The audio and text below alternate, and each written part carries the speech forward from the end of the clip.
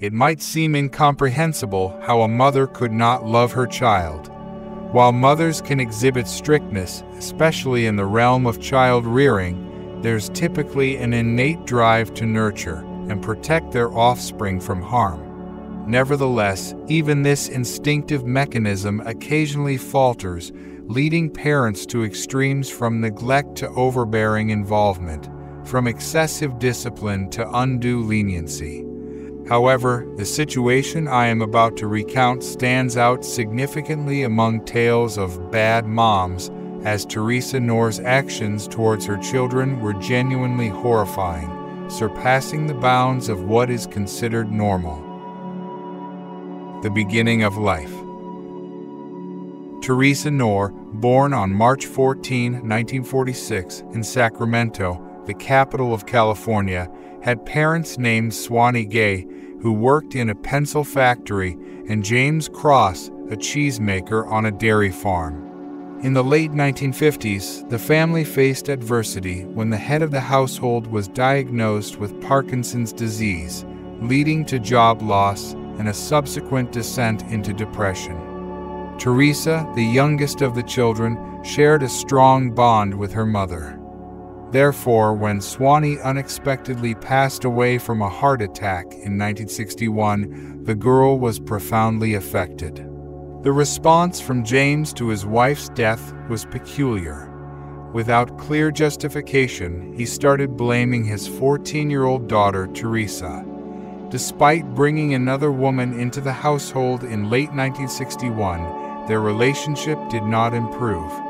In fact, the stepmother also harbored animosity towards the girl, exacerbating Teresa's already challenging life. Free sailing. Frustrated by her father's critical comments and stepmother's constant complaints, Teresa decided to leave home at the age of 15. She sought refuge with a friend whose parents sympathized with her situation and treated her kindly. In the summer of 1962, at the age of 16, Teresa encountered her future husband, 20 year old Clifford Sanders, and they married in the fall. Just 10 months later, in July 1963, they welcomed their son, Howard Clyde. However, their marital bliss was short lived as Teresa grew suspicious of Clifford's fidelity. She discovered women's clothing in his car and a photo of a nude girl in his wallet, bearing the inscription Beloved. Their marriage was far from perfect. The end of the first marriage. The youthful couple frequently engaged in arguments, sometimes escalating into physical altercations. In June 1964, the disputes reached a point where the young mother ended up in the hospital. Although advised to file a police report, Teresa chose not to press charges against her husband. A month later, another quarrel erupted. This time, the catalyst was Clifford's decision to celebrate their son's first birthday at a bar with friends, returning home only in the morning. Amidst the heated argument, according to Teresa, her husband attacked her with his fists, but she had a shotgun within reach. A gunshot echoed, and Clifford collapsed. He was pronounced dead. Self defense or murder? Teresa faced arrest and a murder charge in connection with her husband's death. However, she adamantly refused to plead guilty, asserting that she acted in self defense against her allegedly abusive and alcoholic spouse. During the trial, numerous acquaintances of the deceased attested that Clifford was not known for alcohol abuse and was not prone to violence. Even Teresa's sister gave testimony against her. Despite the conflicting accounts, the jury acquitted Teresa. The decision may have been influenced by the fact that she was pregnant with her second child, fathered by Clifford at the time of the trial. American Legion. In March 1965, Knorr welcomed her second child, a daughter named Sheila Gay Sanders. Following this, Teresa underwent an unexpected transformation, engaging in excessive drinking. Frequently, she frequented a military bar, the American Legion, where she crossed paths with Estelle Thornsberry, a military veteran. Despite the age disparity, they quickly formed a connection, initiating a relationship. However, suspicions arose within a couple of months when Estelle noticed Teresa leaving her children with him while she spent nights away from home. Thornsberry confronted Teresa about infidelity suspicions, leading to a revelation that she was dating his best friend, Robert Knorr. Consequently, he evicted her. Teresa then moved on to her new lover, and in July 1966, the couple married. Their union resulted in the birth of a daughter, Susan Marlene Knorr, in September of the same year. Large family. Robert had a deep affection for children and insisted that Teresa expand their family with the addition of a son, or even two. Teresa readily agreed, and in 1967 they welcomed their first son, William Robert Knorr. The following year, in 1968, Teresa became pregnant again, giving birth to their second son, Robert Wallace Knorr Jr. The couple seemed unable to curb their growing family, as Teresa gave birth to their sixth child in 1970, a daughter named Teresa Marie Knorr, honoring her mother. However, Teresa and Robert's marriage had already begun to show signs of strain. Quarrels and mutual accusations of infidelity became commonplace between the passionate and hot tempered spouses, leading to constant conflict. Marriages and divorces.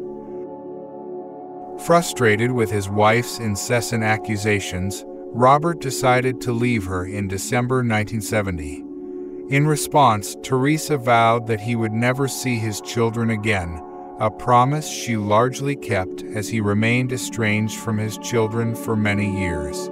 Six months later, Teresa entered into a new marriage with Ronald Pulliam, a railroad worker. However, after a few months of cohabitation, he became disenchanted with her, observing her tendency to drink excessively and wander off into the night. They divorced in 1972. Teresa embarked on yet another marriage, this time with journalist Chester Harris. However, this union proved to be the briefest of all, lasting only from August to November 1976. The cause for the divorce was infidelity on the part of her spouse. Hate. Amidst the turmoil in Teresa's personal life, her six children found themselves left to navigate their existence independently, a situation that would prove to be a respite from what lay ahead. Regrettably, none of the Knorr children escaped their mother's relentless physical, verbal, and psychological abuse.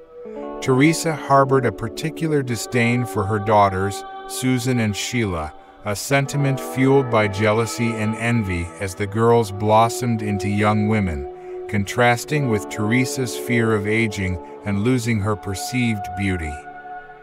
By 1976, at the age of 30, Teresa's body had borne the toll of six childbirths and an unhealthy lifestyle, resulting in weight gain and a fading beauty.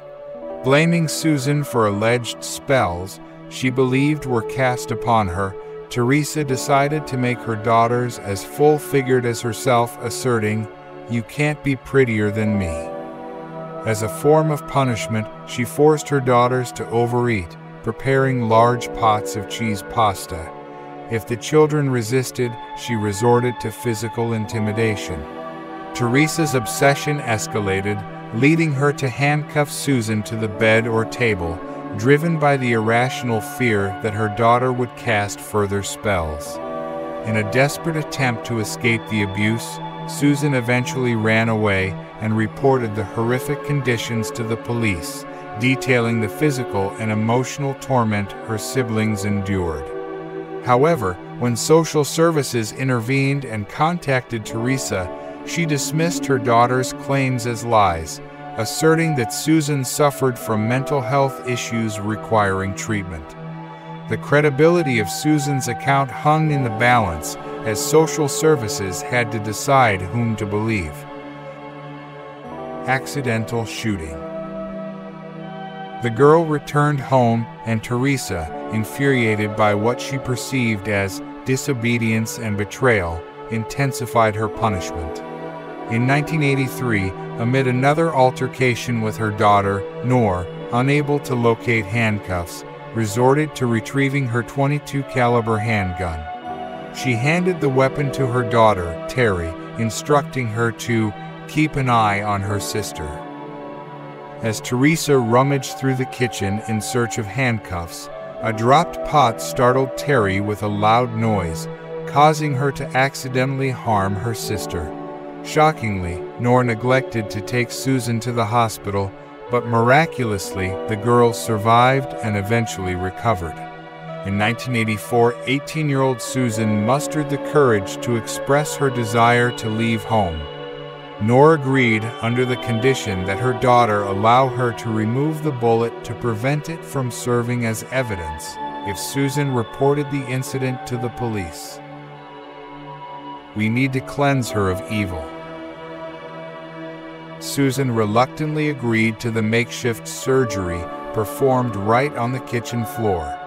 Unfortunately, an infection set in, leading to Susan falling seriously ill and eventually slipping into a coma, convincing her other children that Susan's illness was the result of demonic possession. Knorr declared that the only way to cleanse her body of demons was through fire. Teresa enlisted Robert Jr. and William to assist in the gruesome act. They transported Susan to a remote mountainous area of the Sierra Nevada, following Knorr's chilling instructions and carried out the brutal murder of their sister. Sheila. Following Susan's murder, Teresa directed her intensified punishments toward Sheila. Struggling with financial constraints and being unemployed, Knorr coerced 20 year old Sheila into soliciting men on the streets for money, as reported by Terry. The caring mother even facilitated her daughter's initial connections with clients. Initially pleased with the additional income, Teresa later accused Sheila of contracting a bad disease and becoming pregnant. In response, she locked her daughter in a closet, forbidding the other children from providing Sheila with food. Tragically, Sheila succumbed to her ordeal and died two weeks later. Teresa disposed of Sheila's body on the outskirts of town. Upon returning home, she ominously told Terry, You're next on my list. Fortunately, she did not carry out her threat. Attempts to get justice. The identification of the bodies of the two girls took a considerable amount of time, and with Susan and Sheila having no friends to report their disappearance, no one was actively searching for them. This unfortunate circumstance was, in part, due to their mother, who prevented the children from socializing with others. Teresa went to the extent of forbidding her children from attending school, resulting in none of her sons and daughters completing more than eight grades. Terry later disclosed that her mother compelled her to set fire to the family apartment in Sacramento, presumably in an attempt to eliminate any evidence linking Knorr to Sheila's death. Terry managed to escape her dire circumstances in 1985 at the age of 15, effectively saving her own life. In the subsequent years, Teresa's youngest daughter made several attempts to inform authorities about the horrors she witnessed, only to be dismissed, with officials labeling her accounts as fiction and advising her to cease slandering her mother. Court and prison. Teresa Knorr, along with Robert Jr. and William, managed to evade arrest until 1993 when Terry reached out to the creators of the documentary America's Most Wanted in the hope that the truth would finally be exposed. The documentary team assisted Terry in contacting detectives in Placer County, where the bodies of the girls were discovered. Recognizing the gravity of Terry's account, the investigators initiated a new inquiry, connecting the murders that transpired in 1984 and 1985. On November 15, 1993, Teresa Knorr faced charges of two murders and additional crimes. Initially pleading not guilty, Teresa changed her stance upon learning that Robert Jr. had struck a deal with the investigation, agreeing to testify against her in exchange for a lighter sentence. Robert Jr. admitted guilt to being an accessory after the fact and received a three-year prison sentence. William was sentenced to probation and mandated to undergo psychiatric treatment. Interestingly, Knorr only agreed to plead guilty under one condition that she would not face the death penalty. Consequently, on October 17, 1995, she received two life sentences with the possibility of parole in 2024. As for Terry, following her escape, she settled in Utah and secured a job at a grocery store. She married twice and had two children. Unfortunately, she passed away in 2011 at the age of 41. I hope you like this story. Please don't forget to leave a comment sharing with your thoughts below. Give a thumbs up this video and remember to hit that subscribe button to stay tuned for more captivating stories. Thank you for joining us on this remarkable journey, and we'll see you in the next video.